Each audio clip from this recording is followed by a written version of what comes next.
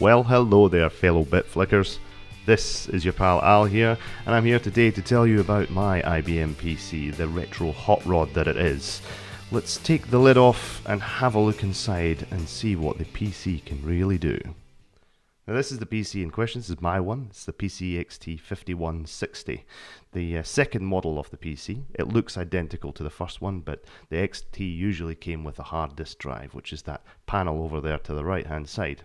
And you can see there's a big space there where there's no hard drive in there. But let's let's let's zoom in into this very dusty, disgusting looking case, and you can see there's 6th September 1985 is the date on this machine. So the original PC came out in 1981, so this one is a slightly newer model. Um, inside, you can see lots and lots of cards and stuff, and you can see this distinctly empty bay, as I was saying, which is where the hard drive used to be. Well, it's um, it died long, long ago. Um, you can see I've soldered a little cable up the side there. I've put lots of sticky tape. Um, maybe tidy that up one of these days. Never. This little box in the corner here is a Raspberry Pi, Raspberry Pi 2. Now, why have I put that in there? Well, because I want to be able to SSH into Linux and make it look like I'm actually using Linux on the IBM PC XT. More on that later, anyway. Uh, I've got a bunch of cards in this machine, and uh, I'll go on through those in a bit as well and tell you what they're all about. Uh, but this machine here is a standard XT, so the whole purpose of this video is to show you uh, how to hot rod a machine like this using only stock components. So basically, if I ripped all these cards out later on, the PC would be back to its standard old 4.77 megahertz glory. That's not very fast. This particular PC here has 640 kilobytes of RAM, 256 kilobytes is on the motherboard, and this card here on the left hand side is a very long thing here. It's called an AST Six Pak Plus. It has another 512k RAM on it to bring the whole PC up to the maximum these PCs could have, which is 640k. You know, look in the back here, you can see that it's got a, a mouse cable connected to it, and that's um, really nasty looking mouse I have. But uh, yeah, it's on a 25 pin serial port, which is uh, a multi card. So it's got not, it's got a whole bunch of things on this card. There's the RAM there, as I was talking about, the 512 case, fully loaded card. And uh, it's also got a real time clock on it, as well as um, some I/O ports. Yes, see there, there we go. 64 to 256 kilobyte system board. So this one was fully tricked out with all the system RAM. Look at all that lovely modules of RAM. Mmm, great. Very slow RAM as well. Back in those days, RAM wasn't very fast. Okay, so now the second card that you see here, uh, this one is the uh, display card. It's not a VGA as you'd be used to, it's a EGA card. Now the reason I've gone with the EGA card and not used the VGA card is I like to keep it compatible with this, the uh, 5160's original monitor.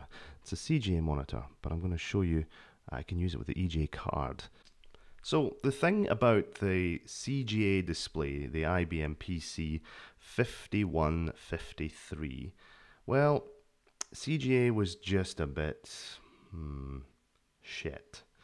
Uh, let's be honest, it had two colors when you you ran it in um, its uh, highest resolution mode, which was 640 by 200 whole pixels, basically like a postage stamp. And then you had um, its uh, lower resolution mode of 320 by 200, which gave you four lovely uh, pixel colors. So on the left, you can see Commander Keen in its CGA 4 color glory mode. And on the right hand side, you can see the same resolution, that's 320 by 200 if not mistaken, in EGA and you can see the color depth at 16 colors. So big difference and the colors were always quite sharp I thought. So I guess what you could say is that, yep, that's Hot Rod hack number one.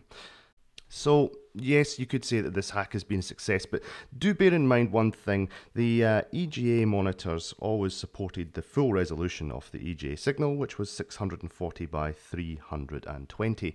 This old monitor here, the CGA one, I don't think would take very kindly to me pushing that kind of super high resolution graphics through it. And uh, I think I've tried it before and it gets pretty upset about things. So yes, most of the time, fortunately, the graphics that uh, go through this display, even though they're in EGA color, they are still within the uh, usual bounds of the 640 by 200 resolution. That's why most game developers and so forth didn't bother making games higher than that resolution because a lot of them had CGA still.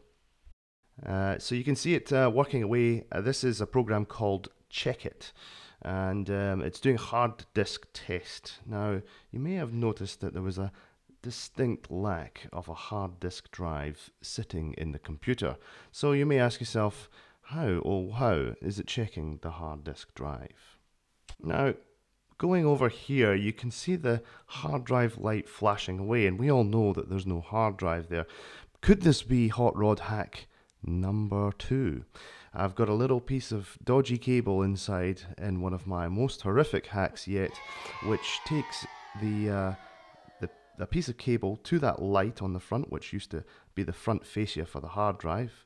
I've got that soldered in there really nicely, as you can see, running up through the side of the case and then over here to something which you just can't make out. Let's go around this way. Okay, yep. Mm-hmm, mm-hmm. Right, there. There's a little flashing light on there. Can you see the, the light um, flashing by the cable that I put in? Well, that's on a special card, which I'm going to talk about in just a minute. So anyway, we've seen the second card, which was the EGA card. This fairly long card with the blue thing coming out of it. That is the floppy disk controller. It serves one purpose, one purpose only. It's to look after this behemoth of a box with all these chips on it, uh, which takes floppy disks in the front. I always thought these looked a lot cooler than the uh, the AT equivalent, which uh, came along a lot later. It's a big chunky beast you can see here. Um, makes a lovely sound when you do that. Uh, anyway, um, yes, the, the, the the ones that came after it with the AT were um, were certainly a lot thinner. They were half the height of these ones. These like to get some dust in them and you know get themselves all disgusting. But yeah, love them, love them. All right, let's go over to the other side of the case, back again, and let's have a look at the next card. Okay, let's try and zoom in on this one. Right, some of you might remember this card. It's called the Sound Blaster, and this one is, I believe, the Sound Blaster version 2, so just one version better than the beginning version, right? CT1350B to be precise. Um, and the Sound Blaster card was like an, the Adlib card, but only better, had some better sounds. I thought it sounded a lot better. Um, and round the back, let's have a look at what they look like. Um, so at the bottom you had a joystick port, so you plug your joystick in. And the next thing above that is the um, 3.5 mil output jack. On top of that, there's a volume slider. On top of that, there's a microphone input, and I think another input as well after that. But this little um, 3.5 millimeter uh, jack comes out. I've done another little hack here. I made a horrible cable which goes um, into the side of the computer and it's inside on this little piezo based um, speaker which I've got stuck against the uh, the power supply by a magnet. Oh, that's a nasty little hack. And the cable running out of there runs into the side of the panel, which is in a space where I used to it used to have a, a battery backup. So before the um, AST Six Pak was in there, it would have a battery in there. And you can see this power supply has actually come off of an, another PCXT um, and you can see that another battery sitting there has um, erupted all over the side of this power supply. You can see even the thick steel here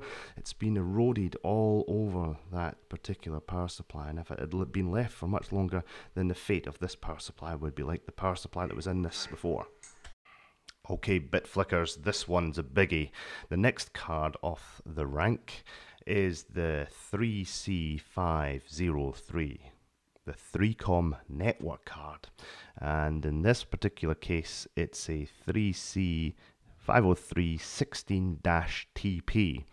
That means that this one's a 16-bit card. Now, if we if we try and pan down a bit um, in a moment, I'll I'll show you uh, that it's yeah it is a 16-bit card. Now bear in mind that the PC and the PCXT were exactly the same motherboards and they were absolutely 8-bit motherboards. They had only space for 8-bit cards and yet here we have a 16-bit card sitting in the bay and you'll be able to see round the side of it that it's just kind of hanging off the side. That last 16, the last 16 bits there are just kind of hanging off the side. Um, so this this is a network card anyway. That that's the most important thing about this. It's quite exciting because this card here brings you on to an Ethernet network. Yes, with a with a PCXT, it is possible to get it on some sort of network. You can talk to other computers, you can go on the internet, you can do things that you possibly couldn't have even dreamed of doing in 1981 when it was a reality. Anyway, that's the card. I will show you it in operation later on in there. There you go. There you can see there the the 16-bit uh, the the bit of the the bottom of the card just hanging off the side there. Those those are supposed to be in the motherboard, those those golden tips. Uh, but they're not because um, the card also works in 8-bit mode, and that's the, the great thing about this card. Um, so yeah, it, it, can sit there quite happily inside an IBM PC XT and give you all your 8-bit network goodness. Now, I'm not being rude here, but I'll take you around the back, and I'll uh, I'll show you. There you go. There's your Ethernet connector right there, as well as an AUI transceiver. Okay, so the next bay is empty, but the one thereafter is quite an interesting one. This here, this blue card that you see, is a compact flash, a CFXT card. Quite interesting because it allows you connect uh, a, um, a modern hard drive, an IDE type hard drive, but it also allows you to connect two compact flash uh, cards in there. So your normal memory cards that you put in an, um, an SLR type camera. You can see one uh, CF card kicking out the back of the computer. And uh, there's also the space on the other side for the uh, the other card as well if you wanted to do it. But that means you can detach the card anytime, take it to another machine, a much more modern one like your PC or your Mac, and plug it in and then copy software onto it. So just about down there, you can see the compact flash kicking out. Yep, there you go. So the great thing here is that all these old PCs, they all came with MFM hard drives, and, and those hard drives just don't last. They, they die pretty quickly. So the great thing is that you can use a compact flash card here and emulate having a hard drive just as if it was 1981 all over again. So the great thing as well is that the capacity of these is in the gigabytes rather than the tens of megabytes. Okay, now we're on to our final card off the uh, machine. So almost all of the slots have been tricked out. Uh, I think there's eight slots in a PCXT instead of five in the PC, and this is the eighth slot right here. And in it, it's got this card here with uh, pretty much bugger all around the back, just this little toggle switch. Hmm, what does that do? Toggle, toggle, toggle. You can see it's flipped up. That means it's in turbo mode. Now, when PC XT clones came out, they were often uh, faster than the original PC, which was rated at 4.77 megahertz. Now, that was a pretty slow clock speed even then. And the clone PC came, came out, they were often called Turbo XTs because they could run at speeds of typically 8 to maybe even 10 megahertz, depending on which chip they had. Some of them were completely compatible with the IBM PC XT, and some of them were not. So you had to be careful about the chips that you bought. One of them was called the V20, which was made by, um, I think it was made by AMD. Now, everybody knows that realistically, there was only so much Lotus 123 that Dad could do. When it got down to it, everybody wanted to play games with their PC, and this 4.77 megahertz processor really did not cut it. So the AT came out, it was the next machine after this, and it had either a I think it was an 8, a 10, or a 12 megahertz CPU, and that was based on the IBM, uh, sorry, the Intel 80286 chip. Now, like the 8086, the 286 is a 16 bit processor, but um, it only came with the AT. But you can have a look at this chip. You can see on the left hand side of the picture, and you can see this is Intel 82, and it's an 80286-N. Um, I believe that that is a 8 megahertz CPU, so that's basically a 286 or an AT class processor sitting there in an IBM XT. What's going on here? All right, so it is. It's some kind of witchcraft. Uh, you can see to the right of the uh, CPU chip, there's an 80287 math coprocessor as well. And then further down, you can see this little ribbon cable. Um, now, it's connected to the motherboard in the slot, the, the, the chip bay, where the 8088 CPU that, that exists. So the original CPU, the 8088, which was 4.77 megahertz.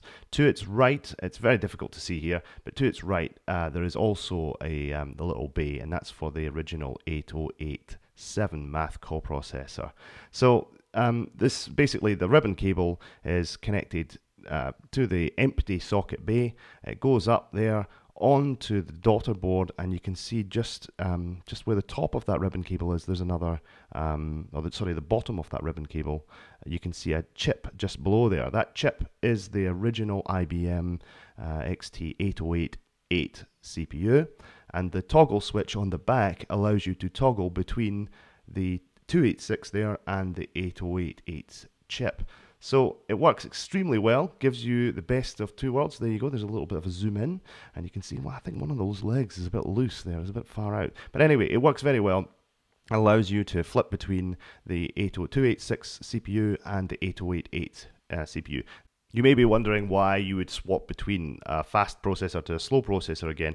Reason being is that sometimes applications were programmed to use the CPU clock, and that meant when they were on the 286 they would run far too fast. Now, as you're going to see in just a moment, you're going to see the big difference between applications running on an 8088 CPU versus an 80286 CPU. It really does make this machine a completely different beast, makes it much more usable, and gives you some games that you just couldn't play before because it would just be like playing with treacle. So what I have here is I've got everything boxed back up and I'm running the Landmark uh, PC system test. Now what this does is it tests a system against the typical speed of an IBM PC AT. So I've got this in XT mode, I've flipped this, the turbo switch back down, so this is running the, the standard CPU of the PC XT. For some reason it thinks it's an NEC V20 there's a possibility that the CPU I have in there is actually a V20 and not a original 8088 but you can see there that it reckons that against an AT it performs at 2.13 megahertz. Um, so that's that's in comparison to an AT it's not the speed that's actually running it. It also says there's no floating point unit so there's no math coprocessor and the video is 411 characters per second. Alright, so I've popped the uh, CPU back into turbo mode, switching the 80286 processor on. So this time it should be running a bit more uh, around the same speed as the IBM PC AT.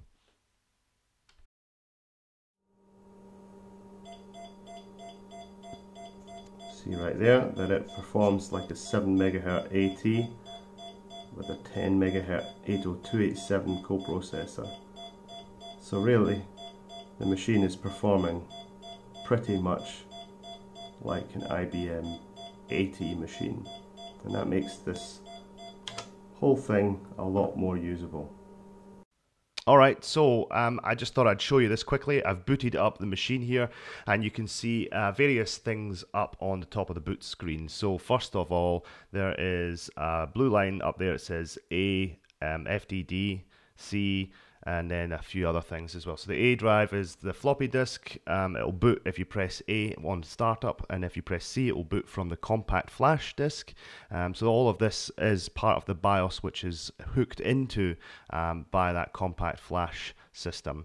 Um, and then the uh, the next option will give you a boot menu, and then uh, the the next option will give you the boot ROM, uh, which is actually the original PCXT BIOS, so I think that boots you to basic. Um, so yeah, that, that gives you that that's a little extra hook that's in the BIOS made by the XT IDE uh, compact flash uh, card that's in there.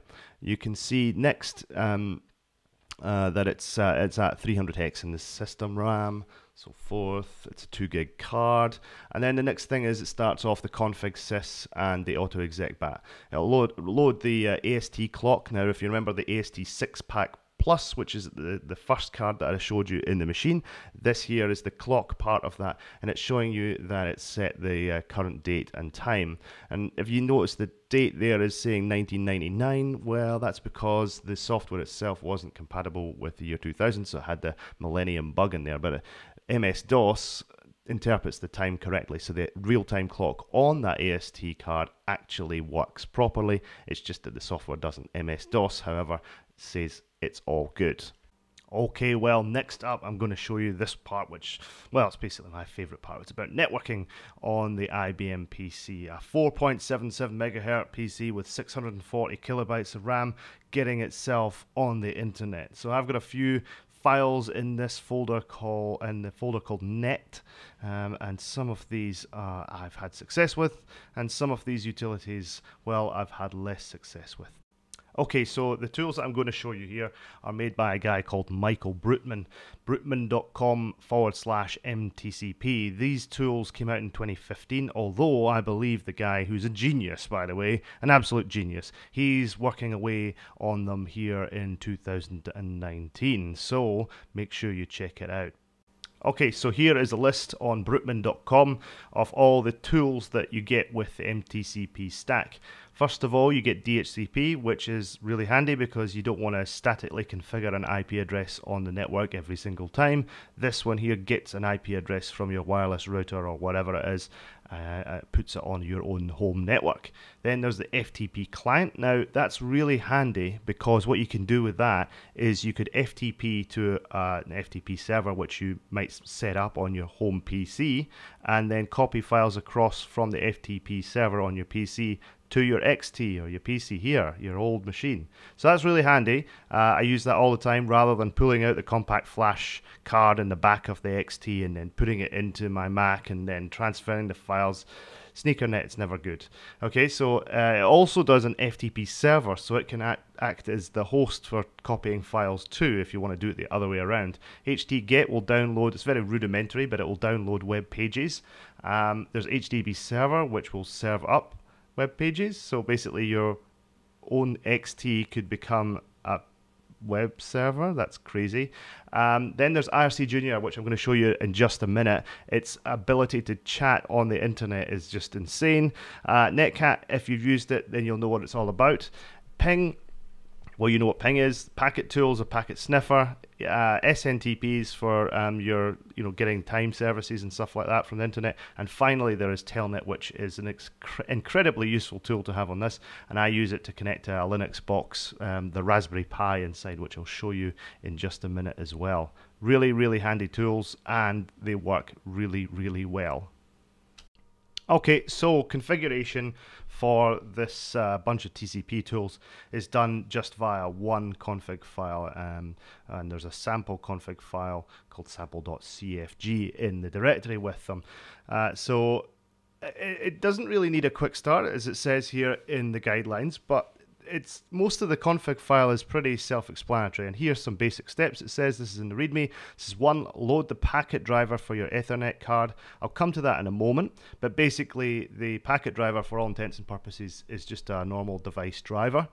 Uh, number two is then to create the configuration file which i said can be taken from the sample one.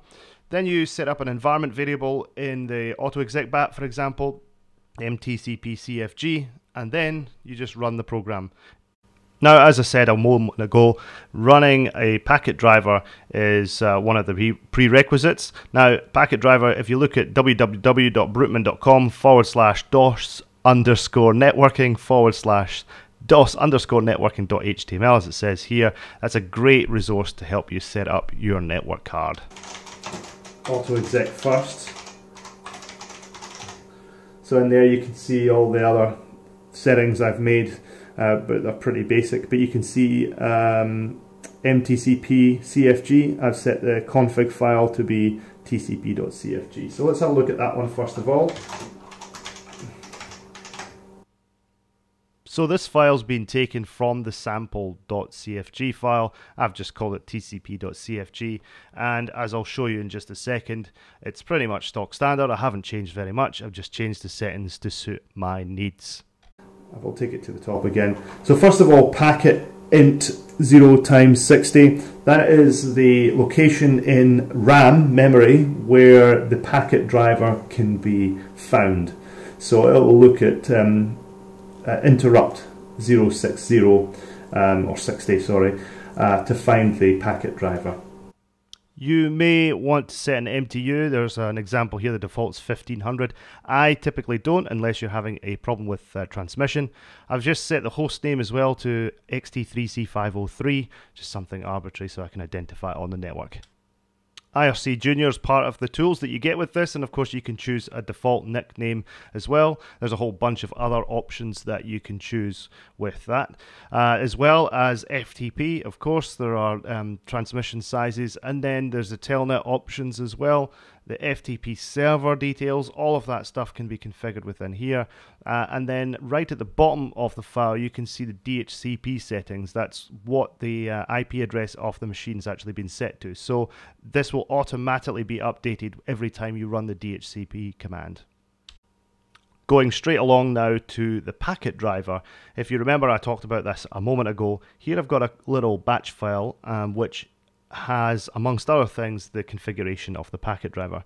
First thing I do there is set mtcp-cfg c That's um, actually superfluous because I made that setting already in the autoexec bat, but it's there just for completeness anyway.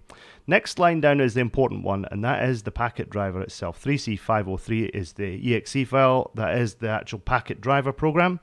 The next is 0 times 60, which if you remember from the config file for TCP, is the address, the memory address of the, um, the, the, the, the network card itself. And that's set on a jumper.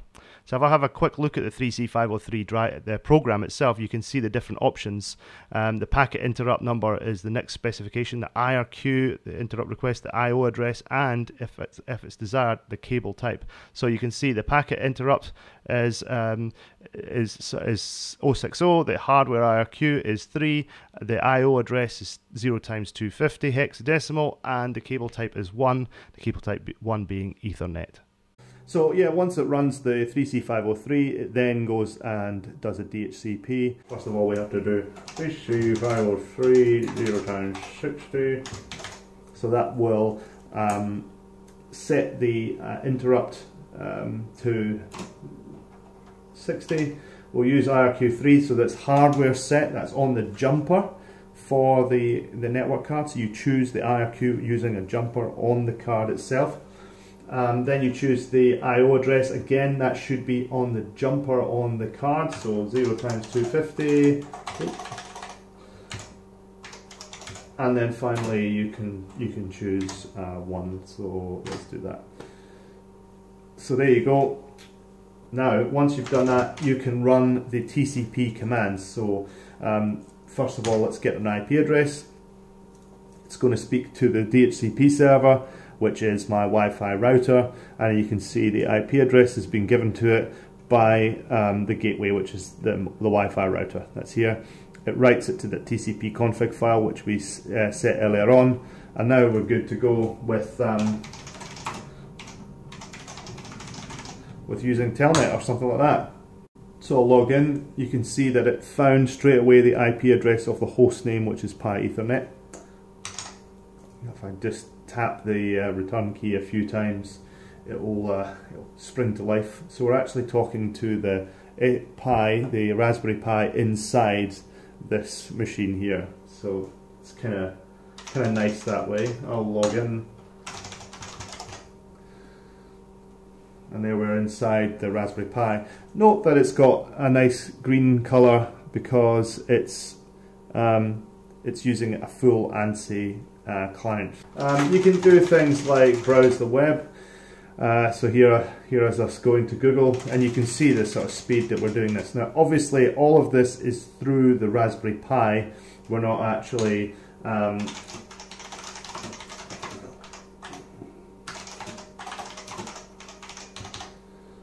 Uh, we're not we're not actually doing this on the local XT, but it has the feel of it anyway. So that's kind of that's kind of nice. There's many other applications that you can use. So for example, you can use um, Twitter. Here's a way to use um, Twitter on, um, on the machine, um, which is pretty cool. So you can use Twitter, you can use um, email via Pine or Mutt. Uh, so just give you um, an idea of what that looks like.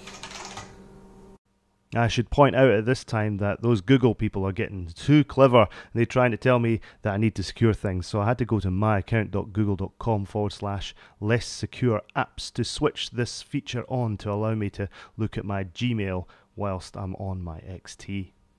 So now that I've done that, I'll run the Pine program. Now there is another program called Mutt, which is also great, uh, but I thought I'd give you a shot with this one. It's quite easy to configure, it's all menu based and so forth. Here's me in the message in index, which is basically my inbox, and you can see me going through rifling all my emails there. Um, and this is kind of what an email looks like in text mode. Uh, it's not pretty uh, because most of the emails that come to you these days have got HTML in them and all sorts of other things. But in most cases, the emails are still readable, and there's me going to a link in a web browser, uh, which is an exciting terms and conditions page. But there you go, you get the general gist of things. Yes, you can read your emails, yes, you can browse the web, all in text mode, but it's still cool, right? So we've been doing all of this in uh, in a telnet session onto a Linux box. What I'm about to show you here is a native program called IRC Junior, and it's for Internet Relay Chat. I'll show you how to do that. So all I did there is type in IRC Junior and then the IRC server that I wanted to get on. And in this case, it's irc.slashnet.org and I did hash VC, which is this channel uh, for um, vintage computing. And you can see me typing away there and saying hello to people and so forth. And that's just just as easy as that, just typing away to people and having fun just like it's 1987 all over again. But there's lots of people, there's millions of people still chatting away on IRC, so if you don't know about IRC, I suggest you look it up. Hours of endless fun. Okay, so I just wanted to demonstrate EGA graphics um, on the CGA monitor.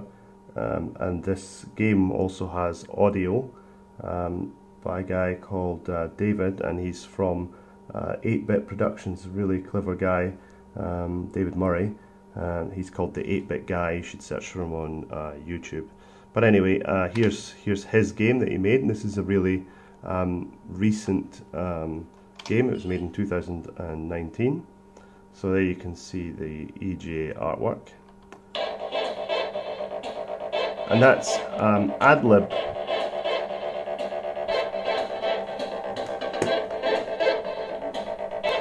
So the audio you're hearing there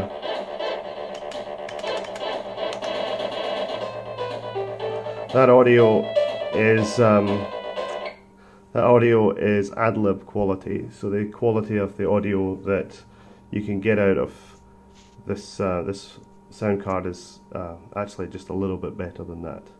But it just goes to show there that you can get nice digital audio